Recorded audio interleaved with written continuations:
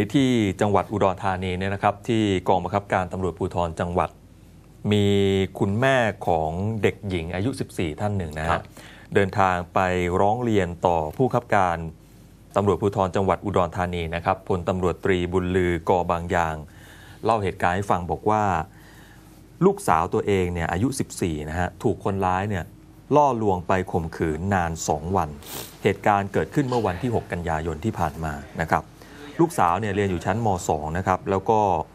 มีเพื่อนที่เรียนอยู่ด้วยกันเนี่ยเอาเบอร์โทรศัพท์มือถือไปให้กับผู้ชายคนหนึ่ง ผู้ชายคนนั้นชื่อนายอภิสิทธิ์วิพาตาอายุ 31 ปี หลังจากที่ได้เบอร์ของน้องคนนี้ไปแล้วเนี่ยนายอภิสิทธิ์ก็โทรศัพท์ไปจีบ แล้วก็ชักชวนออกมาข้างนอกมาเที่ยวด้วยกันนะฮะโดยอ้างว่าถ้าเกิดออกมาเนี่ยเดี๋ยวจะซื้อโทรศัพท์มือถือเครื่องใหม่ให้อืมปรากฏว่าเด็กเนี่ยหลงเชื่อ ก็ออกมาเจอนายอภิสิทธิ์ตามที่นัดหมายนะครับ ปรากฏนายอภิสิทธิ์เนี่ยพาเด็กนั่งซ้อนท้ายรถจักรยานยนต์ ไปที่รีสอร์ทแห่งหนึ่งนะฮะชื่อว่าป่าสักรีสอร์ทในเขตอำเภอเพนแล้วก็บังคับไม่ยอมให้กลับบ้าน แล้วก็มีการใช้กำลังบังคับข่มขืนกระทำชำเราเด็กนะฮะจนสำเร็จความใคร่สองครั้ง แล้วก็กักตัวเด็กเอาไว้ทั้งคืนเลย จนที่บ้านเนี่ยก็เป็นห่วงมากนะครับ ออกตามหาไปแจ้ง กำนันผู้ใหญ่บ้านญาติพี่น้องเนี่ยออกตามหาจนไปถามกับเพื่อนของเด็ก ก็เลยรู้ว่าเนี่ยออกไปกับนายอภิสิทธิ์ก็เลยตามไปจนเจอนะฮะไปพบนายอภิสิทธิ์อยู่กับเด็ก ในห้องหมายเลข 4 ที่ป่าศักรีสอร์ทผู้ใหญ่บ้านควบคุมตัวนายอภิสิทธิ์ไปโรงพักเพื่อดำเนินคดี โดยไปแจ้งความกับทางพันตำรวจโทมานะชัยศรีบัวอ่อนที่สพเพนนะครับ ปรากฏว่าพอตำรวจได้รับเรื่องปั๊บ แทนที่จะดำเนินคดีตามกฎหมายเนี่ยกลับอืมไก่เกลี่ยฮะไก่เกลี่ยแล้วก็ไม่ไม่ได้มีการสอบปากคำเด็ก แล้วก็ปล่อยตัวนายอภิสิทธิ์ไป โดยอ้างว่าไม่ใช่เหตุซึ่งหน้า ก็เลยไม่สามารถที่จะจับกลุ่มนายอภิสิทธิ์เอาไว้ได้นะฮะฝ่ายแม่เนี่ยเห็นว่าแบบนี้เนี่ยมันไม่ชอบมาพากลแล้ว จริง ๆตำรวจต้องจับ แล้วก็ปรึกษากับคนที่เขารู้กฎหมายเนี่ยบอกว่าคดีแบบนี้เนี่ยเด็กอายุต่ำกว่า 15เนี่ยถึงจะยอมหรือไม่ยอมไปด้วยกันเนี่ยยังไงนายอภิสิทธิ์ต้องผิดแน่นอนเออ วันนี้ก็เลยไปร้องกับทางผู้การนะฮะผู้การก็เลยได้มีการสั่งการให้พนักงานสอบสวนท่านนั้นนะฮะพันตำรวจโทมานะชัยเนี่ยรีบดำเนินการด่วน ไปสอบปากคำเด็ก ร่วมกับสาวิชาชีพ แล้วก็อายการเพื่อที่จะรวบรวมหลักฐานอนุมัติขอหมายจับจากนายอภิสิทธิ์ มันมีเรื่องที่น่าเศร้ากว่านั้นก็คือว่าหลังจากที่เด็กเนี่ยถูกข่มขืนเนี่ยนะฮะ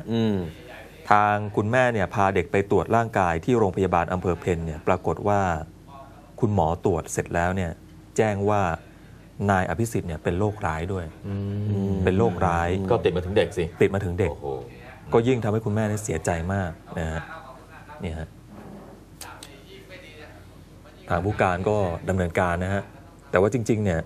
อันนี้ความเห็นส่วนตัวผมนะอืมควรจะมีการเปลี่ยนตัวพนักงานสอบสวนด้วยซ้ำอืมเพราะว่าคนแรกที่รับเรื่องเนี่ยอืมเหมือนกับเขาไม่อยากจะทำเรื่องนี้อะอืมแล้วผู้การก็ไปใช้คนเดิมเนี่ย มันมันจะทำให้เจ้าของคดีเนี่ยอาจจะไม่สบายใจได้จริงๆต้องเปลี่ยนเลย เพราะว่าล่าสุดเนี่ยทางผู้บังคับการเองก็มีการเอ่อตั้งกรรมการสอบสวนวินัยของพันตำรวจโทมานะชัยคนนี้ด้วยแล้วอืมเลยฮะใช่ไหมเออก็ควรจะเปลี่ยนตัวอืมนะฮะอืมอะอะมีเรื่องแปลกๆ อยู่เรื่องหนึ่งเกิดขึ้นครับที่จังหวัดบุรีรัมย์อำเภอหนองกี่ตำบครัลบโคกสูงนะครับ เป็นเรื่องของตายายคู่หนึ่งนะครับ คุณยายนี่ชื่อคุณบุญเรียน อายุ 61 สามีชื่อคุณโอกนะฮะสองตายายคู่นี้สองตายายคู่นี้เนี่ยเปิดร้านขายของชำอยู่ที่จังหวัดบุรีรัมย์แต่ว่าทุกวันนี้อยู่ด้วยความทุกทรมาน โดยเฉพาะการทุกทางใจนะครับ เพราะถูกกล่าวหาว่าเป็นผีปอบคือก่อนหน้านี้มีเพื่อนบ้านคนหนึ่งชื่อนางปายิ้มผุนะฮะนางปาเนี่ยไปทำงานที่จังหวัดชลบุรีเป็นชาวบุรีรัมย์นะฮะไปทำงานที่จังหวัดชลบุรีแล้วก็ป่วย ป่วยเสร็จแล้วก็ถูกส่งตัวมารักษาที่โรงพยาบาลรักษาเท่าไหร่ก็ไม่หายสักทีชาวบ้านก็เลยพากลับมาที่บุรีรัมย์ที่โคกสูงเนี่ยนะฮะแล้วก็รักษาก็ยังไม่หาย ก็เลยรักษาทางไสยศาสตร์หาหมอผีบ้างหาคนเข้าทรงบ้าง ปรากฏว่าตอนไปหาคนเข้าทรง คนเข้าทรงบอกว่านางปาเนี่ยป่วย เพราะว่ามีปอบเข้าสิง แล้วถามว่าแล้วปอบเนี่ยชื่ออะไร บอกว่าชื่อบุญเรียนเท่านั้นแหละฮะ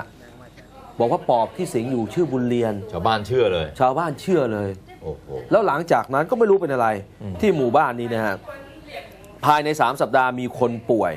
แขนชาขาชาปวดศีรษะหน้ามืดเป็นลมเนี่ยนะฮะ12คน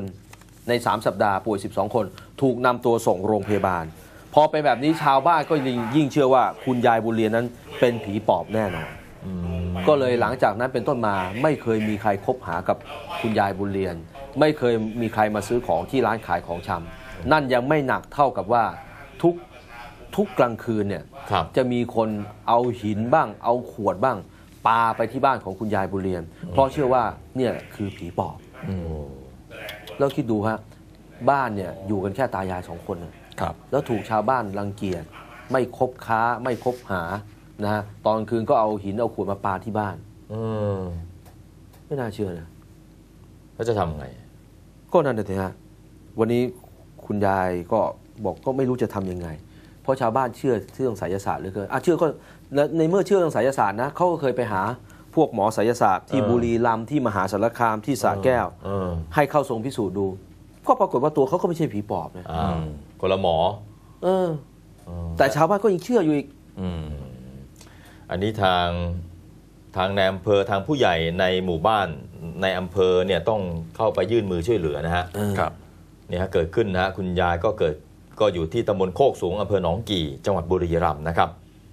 นี่นะฮะโอ้โหชีวิตแย่เลย อืมแล้วคนที่ล้มตายไป 12 คนเนี่ยไม่ตาย ไม่ใช่ล้มตายเจ็บป่วย เจ็บป่วยเนี่ยเออ เจ็บป่วยไป 12 คนเนี่ยอาจจะเป็นโรคอื่นหรือเปล่าคือเรื่องผีปอบเนี่ยมีอาจารย์คนหนึ่งเขาทำวิจัยเรื่องนี้นะ นะแล้วเขาก็จับคนที่ถูกกล่าวหาว่าเป็นผีปอบจากที่นั่นที่นู่นที่นี่นะมาอยู่ในหมู่บ้านเดียวกัน รู้สึกที่จังหวัดสกลนครเลยศรีสะเกดศรีสะเกษใช่ไหมศรีสะเกดแล้วปรากฏว่าคนเหล่านั้นก็ก็ไม่มีอาการเป็นผีปอบ ก็อยู่ด้วยกันได้นะก็ว่าเป็นหมู่บ้านที่เอ่อเหมือนกับเหมือนกับคุณยายบุญเรียนนี่แหละใช่ไหมนะฮะก็คือถูกกล่าวหาจากสังคมในหมู่บ้านว่าเป็นผีปอบอืมอืมบ้านก็ถูกเนรเทศมา อืมแล้วก็ไปอยู่รวมกันที่นี่ แล้วมันมีไหมล่ะหมายถึงว่ามีอาการเป็นผีปอบไหมก็ไม่รู้ก็ไปอยู่ด้วยกันคืออาจารย์ท่านนี้ยังทำวิจัยอยู่เป็นทำวิจัยอยู่ยังนะทำวิจัยอยู่เออแล้วก็ยังไม่บอกชื่อหมู่บ้านนะฮะอืมเขาก็เลยบอกว่ามันมีบอกแต่เพียงว่าที่ศรีสะเกดเนี่ยมีหมู่บ้านผีปอบอืม ก็ประมาณว่าเป็นหมู่บ้านที่มีคนอย่างคุณบุญเรียนเนี่ยไปอยู่รวมกันมากครับอืมๆเพราะว่าอยู่ที่นั่นไม่ได้แล้ว ก็มาอยู่ด้วยกัน หัวอกเดียวกันใช่ แล้วก็เป็นคนที่ถูกเนรเทศถูกกล่าวหามาจากจังหวัดต่างๆ ไม่ใช่ไม่ใช่เฉพาะจังหวัดทางศรีสะเกดนะใช่อย่างคุณบุญเรียนไปอยู่ที่นั่นก็ได้ เออไปอยู่ที่นั่นเออดีกว่าสบายใจกว่าศรีสะเกดเพราะเรื่องผีปอบอาจารย์คนนั้นเขาบอกนะบางทีมันมีเรื่องของอย่างพี่น้องกันอย่างเงี้ยครับแย่งสมบัติกัน ก็คิดอุบายกล่าวหาว่าคนเนี้ยเป็นผีปอบอ๋อแล้วชาวบ้านก็พร้อมจะเชื่อนะเออโอ้โหจนกระทั่งนำไปสู่การเนรเทศกันออกไปจากหมู่บ้านอย่างเงี้ยอย่างกันในหนังเลยนะอืมเอาละฮะเราพักกันอีกครู่ครับ เดี๋ยวกลับมาช่วงหน้าครับ